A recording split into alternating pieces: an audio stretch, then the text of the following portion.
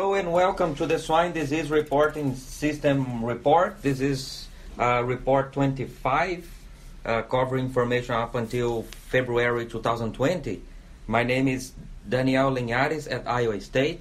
Hello, my name is Giovanni Trevisan from Iowa State. Hello, my name is Edison from Iowa State. And we have a special guest here today. Hello, I'm Kent Schwartz from the Diagnostic Lab at Iowa State. Thanks for having us with uh, with us uh, th- this edition, Dr. Schwartz. Happy to be here, sir.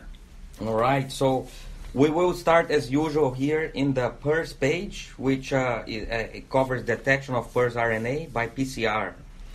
And uh, Giovanni, long story short here, from all those plots, what I see is that the detection of PRRS by PCR in February is uh, lower compared to J- January, and it's really within the pred- uh, the, the predi- prediction uh, bands. And so, what else? What else in this in this page, and what do you get from the advisory board for this relatively quiet per season so far? The advisory board comments are that the PRRS virus detection is lower this year. It's because of a group of reasons. As example, we are having the a warmest winter compared with previous years. That is backed by security and transport sanitation practice Mhm. in the field being occurring. There are systems that are segregating trailers for sow farms and wean to market the animals, and there is new technologies that entered in the uh, swine practice in the last few years, like more use of feeder mitigants to uh, contain some virus, the air filtration technology, and PRRS vaccines that have been used. All of those are helping to contain the spread and detection of PRRS virus. So, a combination of immune management, herd immunity, biosecurity, biocontainment. Yes, that was the reason that was pointed out. Okay, well, Dr. Schwartz, what's your take on when you see those those charts, those trends over time with your experience, what you've seen over the years? How, what uh, what what's your take on this page for PRRS information? Well, I either want to dig deeper into the nuances or back up and look at trends. And I think the value of this data will be looking at trends over time, at least one of the values. And I, I'm encouraged to see the general trend downward in uh, percentage of positive cases over time. Mm-hmm. um, it, it, gives me hope that our biosecurity is actually being executed and having an impact, probably not only on PRRS occurrence, but other diseases as well. One, one of the questions that comes up from a, from a granular point of view would be I wonder what the impact of vaccine detection will be and whether your system will be able to sort out uh, with the clamp technology that's out there now and the differential for vaccine, whether this system will be able to sort that out and either put it in or take it out of your of your trends. Uh, so that's that's one thing to be thinking about as we go forward. Is the more data we have, the uh, the greater the chance we're able to ask better questions.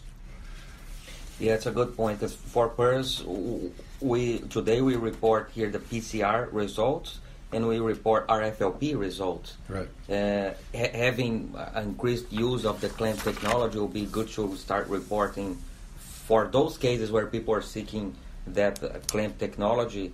What's the what's what's the percentage of cases coming back as vaccine-like versus wild type, right? Correct. hmm Give you a little more accurate view of the true wild type impact of PRRS out there. All right. Anything else? Anybody on this first page? All right. Uh, jumping here to the detection of enteric coronaviruses by by PCR. Uh, pretty much the same story here, uh, in the sense that the, the the detection rates are following the the expected or the forecast parameters, and they are uh, also uh, uh, relatively here going down quite compared compared to previous years, uh, and no detection at all of of TGE virus. Uh, Giovanni, what else do you hear from the advisory board or any other highlights from this page? Uh, there is no doubt that more testing of wind market animals have been done for monitoring of PED and Delta coronavirus to understand what is the real scenario out there for these agents. Different systems have been reporting this uh, use of this PCR uh, testing to do that. But else there is more activity of the virus in wean-to-market animals reported by the advisory council. They believe that there is increased environmental contamination that helps for lateral outbreaks, and as wean-to-market animals has farms has less biosecurity measures when compared with the sow farms, and at the same time there is opportunity for lower compliance on biosecurity sanitation. This has been helping to spread the virus among wean-to-market farms. So one of the challenges for the industry is really to improve that biosecurity in to finish sites, right? To keep the virus down and and uh, kind of bio, bio-contain them there, preventing them to circle back to the sow farms. Dr. Schwartz, what, what are your, your comments about this? Uh, well, it, the coronavirus in general. We're, we're looking at a relatively short period of year-over-year data. Again, longer-term trends, but um, and it may be simply weather. That, that is a big impact mm-hmm. in the mm-hmm. upper Midwest here. But mm-hmm. uh, again, I'm encouraged that the general trend for PED detection is going down, and I think I think that's a good barometer for how well our biosecurity systems are being developed and implemented, which could be really important long term should we have a foreign animal disease outbreak. The ability to actually do what we say we do. So mm-hmm. I'm very encouraged by the trend. I just look forward to having more data to compare year over year over year. And that and this and talking about TGE here again, zero detection over over uh, uh, three uh, thousand tests performed. That's that's uh, that's a good sign for the industry, right? Yeah, I think you know if, if, we had excellent biosecurity, TGE would eradicate itself. Mm-hmm. It's almost there and has been since PED was introduced into this country. So it may be just a formality going forward to, to say that we're negative for TGE. Good point. All right, moving on to the Mycoplasma pneumoniae page and its detection by PCR. And same thing here that we've discussed about PRRS and the coronaviruses.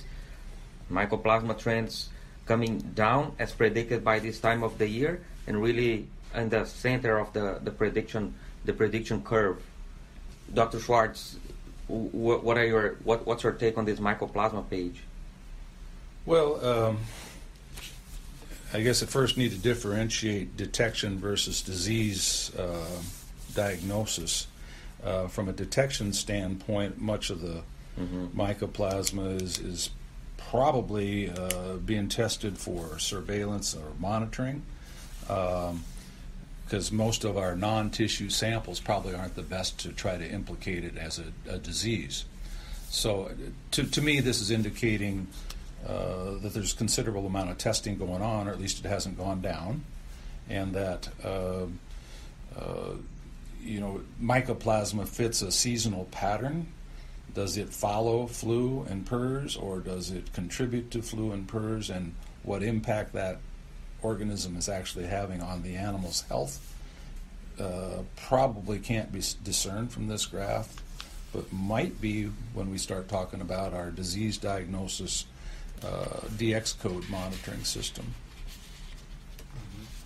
Yes, and that's a great transition to the disease diagnosis reports system. Uh, this this page here, different than the other, the, the, previous pages were all about PCR detection, and this page here is about disease diagnosis by the Iowa State uh, diagnosticians, and that's all following the work that Dr. Schwartz has been building over the years in an effort to establish the diagnostic codes, where the diagnosticians assign a code to, to all the cases they, they see. And from those codes, we, we understand what are the diseases in each of the physiological systems. And uh, what we see here this month in the report is that PRRS continues to lead the, the respiratory cases, rotavirus is leading the enteric cases, and Streptococcus suis leading the nervous um, cases. And so we certainly want to uh, he, uh, uh, hear more from Dr. Schwartz on what uh, led to, to this uh, development of the disease diagnosis and what, what are the, the, the uses, the benefits, the implications for, for the vet- veterinarians in the field and their cases. Well, yeah, thank you. Uh, I've been a bit passionate about diagnostic reports that either get used or thrown away, and, and over the last 35 years, I'm guessing most of mine have been thrown away. But I'd like to think there's a little bit of data in those reports that could be good for monitoring uh, disease occurrence, specifically disease occurrence, not just presence of agents uh, over the years. And so the code coding system we've modified to um, be able to differentiate by system, CNS versus enteric, Mm-hmm. for example, uh, by insult type, uh, virus versus bacteria versus parasite versus toxin and others. Um, and for the pathologists among us, what tissue do we look at? Where did we see a lesion? What was the lesion? So there's a third category for, for coding that. And of course, the fourth category would be uh, what was the actual agent or etiology detected, if there was one. And so each case can have one or more diagnostic codes, particularly when we're talking about polymicrobial diseases. We implemented this system last June, so uh, previous diagnostic codes were reassigned to the new system, which would have some variation and error associated with it. But going forward from June of 2019, we hope uh, we're getting a little more accurate all the time. I think it's important that these DX codes are based on tissue submissions where we actually get a chance to evaluate the history, the clinical context, uh, what are the observed or reported gross lesions, uh, microscopic lesions, and then align that with laboratory results to come up with one or more uh, diagnoses for the case. And I think it's important to realize that many of the agents we detect with our detection methods are endemic. Uh, the question of whether they're causing disease or not is, is always an issue. Uh, and so that's where the histopathology or diagnostician's input is pretty important to establishing causation, if you will. Um, part of the problem, too, is we don't test for everything. Um, sometimes we're limited in the amount of testing we do, so our DX codes uh, should represent what's there today that we found or were allowed to find, but may not be the entire story, so to speak. So there's some downsides here that we're uh, continuing to improve. Um, I think it's important to realize that every agent that we have that's causing disease has its own ecology, its own uh, immunology, uh, variation within organisms, cross protection uh, may or may not be predictable. Uh, the virulence can vary between individual isolates or, or organisms. Uh, so there's a lot of variation. I, if I had one word to express as our nemesis in the profession, it would be the word variation. And so, as you think about that, what does that mean? That means our detection uh, is going to favor organisms that hit and stay. What do I mean by that? PRRS virus hits and stays for a really long time, you know, months. Mycoplasma hits and stays for a very long time, months. Uh, PCV two, three, four, whatever, hits and stays within a population for a very long time, may or may not be causing disease during that time. In contrast, things like influenza virus are present in an individual animal for a relatively short time, 10 days or less.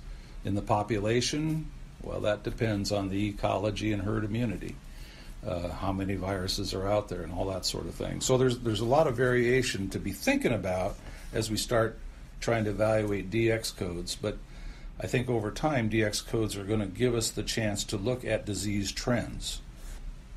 Another concept I think is important uh, is is you know what the role of DX codes will be when we have new diseases in the laboratory, new discoveries, and I would use strep equi subspecies zooepidemicus or PED or Seneca virus as examples.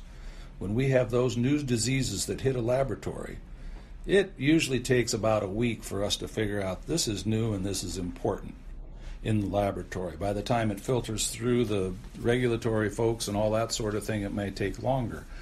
But there's no way we're going to predict that or have real time uh, reporting of that type of, of situation. Uh, I think we rely on the swine vine, so to speak. It's a small profession to uh, make sure the word gets out that hey, we just found this disease. Maybe we should be looking for it. You know, the next level would be emerging diseases, things like sapelovirus or sapovirus, teschovirus. Some of these viral agents that are being either renamed or rediscovered, or discovered for the first time.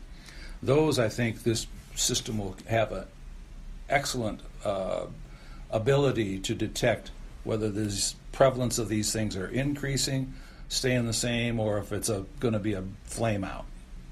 Diagnose a few times and it goes away. And then, of course, reemerging disease will have a way to keep a pulse on on uh, you know changing changes in swine dysentery was a great example. The Salmonella 4512 versus Typhimurium are examples. We can we can aggregate those trends. Hopefully, going forward, we'll also be able to aggregate polymicrobial diseases like PRDC. How many cases has the aggregate or your particular system had where PRRS and flu are present, not mycoplasma, where mycoplasma and APP are present, but not PRRS, and be able to ask some of those more comp- complicated questions uh, to better monitor disease occurrences in herds.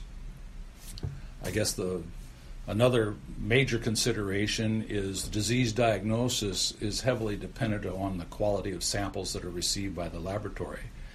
Uh, as you know, populations, 2,400 pigs, are moving through time with a distribution of parameters, different types of parameters. Uh, we're mostly interested in the lagging tail of those distributions. Within those lagging tails are sick pigs and mortalities. Uh, the question is uh, can you or your associates pick out the right pig to represent 2,400 head? And is the permutation of agents detected in a pig or two pigs uh, the same as what be occurring in the population? Uh, multifactorial disease, does it matter which agent comes first? Uh, are impacts of, of infection with different agents cumulative? These are all questions I think we need to answer going forward uh, to better understand disease ecology and, and what types of interventions are more likely to work. Uh, there's a tendency to blame mortality on the last agent that's found, the proximate cause of death, so to speak. But we all know there's there's myriad risk factors and other agents that led up to that event in that animal, wherever he happens to lie within the distribution that's moving through time. I better stop there because I'm getting a little carried away. I think that, that was that, that, was great, and so if, if I understood right, uh, the the the the veterinarians, their associates, they send tissue, they, they send tissues, and the diagnosticians work on that, and so all great. It helps to understand what's going on at that specific flow at that specific point in time. And now with the diagnostic codes, what that allows is that if the considering that the uh, diagnostic code is following a, a, schematic, a standard approach, that would allow to uh, describe the disease activity not only in that particular case, but over time, over peak flows, over geographies, and all all, all that, and also allow since it's a it's a standardized code code in a in a database it allows people to associate that with productivity and or other cl- in other clinical uh, outcomes to be able to measure the impact of these emerging or endemic diseases as they hit their flows right? So that's all uh, creating more tools for for the vet. But uh, it's uh, like like you said at the at the end the quality of that data is positively correlated with the quality of the material that's received and how that uh, uh, uh, explains or how that reflects the the overall population. So really good to reminder for people to follow standard operation procedures to select that animal in or the tissue and send back so that uh, whatever information it's the, it's going to be in the database, it, has got to be have a good internal validity to that flow, right? Dr. Linhares, that's exactly what I meant to say. yes, and, and, and again, I think uh, the value of this will be illustrated over time. You know, I can imagine the equivalent of SPC charting uh, of diagnostic code data over time, along with the SDRS system of detection of agents over time, uh, particularly if we start to standardize our submission and monitoring and surveillance practices, as well as our diagnostic submission practices. I think larger populations and the impact, economic impact of disease, uh, can more than warrant a little bit of testing to try to better understand and control. Um, I just hope the economics of swine production allow us to keep pushing that envelope forward.